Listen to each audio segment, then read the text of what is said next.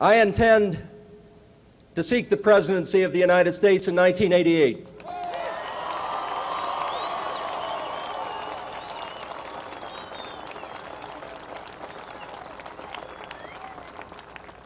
And I do so for one single reason, and that is I love my country.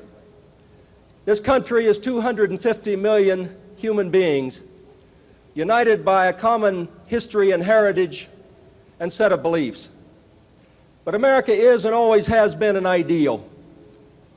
This land has stood for equality and justice and hope and opportunity for generations and generations of Americans and millions of people around the world. And at our best, we've come close to that ideal. But I think all of us know deep down in recent years that this country has fallen short of the ideal of America. We've seen personal greed replace a sense of social justice and equity and the national good. We've seen right wing ideology skew this nation's basic priorities. We have seen narrow single interests increasingly finance our campaigns and control our political process. And we've seen high standards for public officials and public ethics be eroded.